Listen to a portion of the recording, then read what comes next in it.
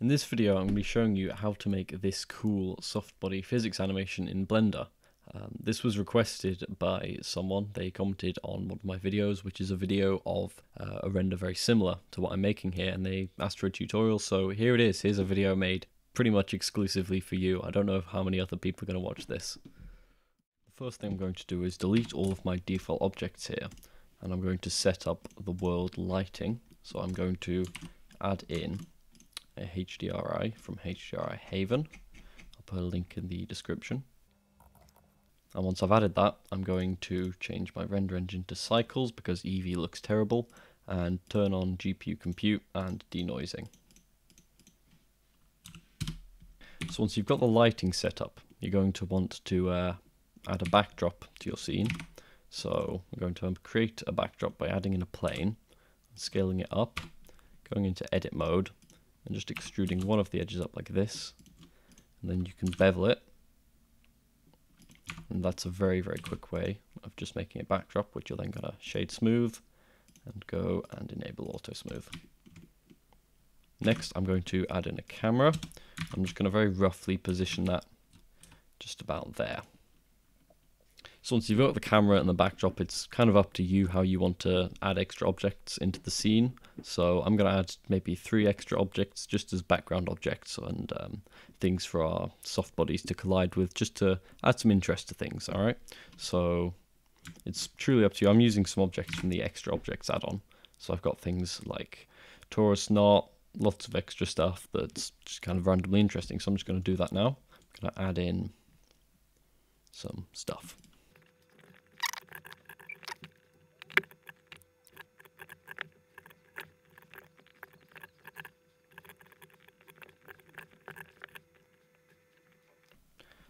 So as you can see, I've just added some random objects here, and these just add a bit of visual interest to the render and something for our physics objects to collide with. So now we're going to want to add physics to this scene. So first of all, these objects here that we've got, these are objects that our icospheres, our floaty icospheres are going to collide with. So we're going to want to select them, go to the physics tab and just add collision to all of them.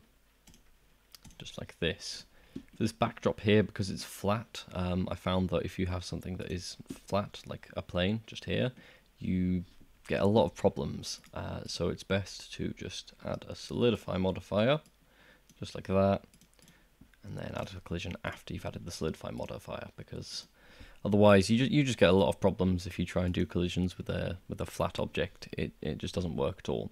So now we're ready to add an icosphere so we're just going to add that and scale it down. And this is going to be our floaty cool soft body object. So we're going to want to select this and we're going to want to add soft body and then collision in that order. I'm going to turn off goal. I'm going to go to edges here. I'm going to turn bending to 0.8. Then we're going to add a force field to the scene here. I'm going to add force field force. Put that in about the center of the scene and change its strength to minus 0.2, just like that. Now we're going to want to select our icosphere here and go to field weights and turn gravity off and force here we're going to keep on. We go to frame 0 here and we're just going to keyframe gravity and force.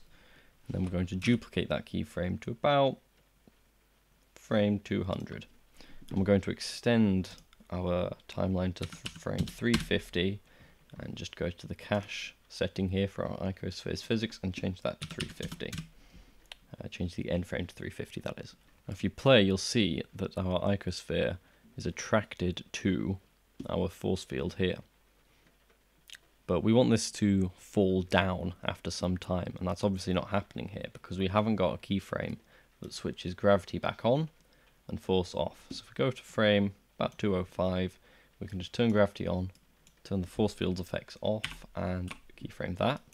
You'll see when we hit frame 200, gravity takes effect again and it bounces around and that's just what we're looking for. So now we can just take this icosphere and we can duplicate it. I'm just going to scale it down first, but we can just duplicate this a couple of times. Uh, the more you duplicate it, the larger it's going to get, but that's fine. Just duplicate, put that one there, and some, oops, don't do that. I'd say six. That, that looks like a good amount, I'd say. So Now if we click play, we'll see that they all go to the center and interact with each other. And then they're going to bounce around like that for a while. In frame 200, boom, there we go, they bounce around. Nice. So now what we're going to want to do is select one of the icospheres. We're going to want to go to this cache setting here, our soft body settings, we're going to want to click Bake All Dynamics. And this is going to bake the physics for every single one of our icospheres here, which is just going to, well, eliminate lag in the viewport pretty much. So as you can see now, runs just the same, but it runs smoothly, and that's very, very handy. Now, to add a bit of depth to the animation, what I'm going to do is I'm going to animate this camera here, zooming in a bit, and then zooming back out. So it's very simple to do. We're just going to keyframe its position here. I'm going to move to frame 200. I'm just going to grab this camera in a bit, just like this, and keyframe the location. So as you can see, zooms in, and we can just get the first keyframe and just duplicate that, move it to the end. And now when we play the animation, we've got this slow zooming in, which just adds a bit. It adds to the animation. It makes it look a lot nicer, I think. Then it's going to just zoom right back out. There we go. So now we've got our animation all set up. All that's left to do is add some shaders to our objects here, set up our render settings, and then render out the animation. Now, I think a nice gold color for these icospheres could look quite nice. So I'm just going to create a material and call it gold. And I'm going to assign that to each of these icospheres here. Once we've added that to every icosphere, I'm going to make it metallic, turn the roughness down a bit, just tweak the color, just make that a little less saturated, I think. There we go, that looks nice. Oops, I've uh, accidentally made the sphere in the back gold too. I think I'm going to give the backdrop here a nice blue colour to uh, complement the gold yellow that we've going on. So let's create a new material, call it background, just set that to a very light blue. I think I'm going to leave these objects here white. I think that um, that looks quite nice.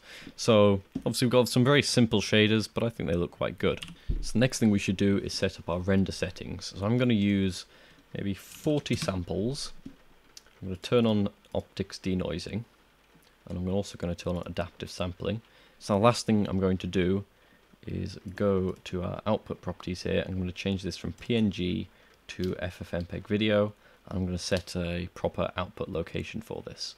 Now one last thing I'm going to add is I'm going to go to the compositing tab here, I'm going to turn on use nodes, and um, you can see we've got like one, one thing of this here, so I'm just going to render out a frame real quick. Alright, so now I've got a frame rendered out. If we go to our compositing tab here, we can add in a viewer node, and we can just put that in there. Okay, and I'm going to add in a glare node just to add a very subtle uh, glow to our objects here. So I'm just going to make this a little more subtle than it is right now. There you go, it's just a very subtle bit of glare from these shiny objects here. And after adding the glare in the compositor, you are pretty much done. You can just click render now, and it will save the video to wherever you told it to, and that's it. That's the tutorial over, I guess. I hope the video was helpful. Um, if it was, make sure to leave a like. If it wasn't, please comment and tell me why, because I'm not that experienced in making these videos and I definitely need some uh, feedback on my videos. So thanks for watching. Goodbye.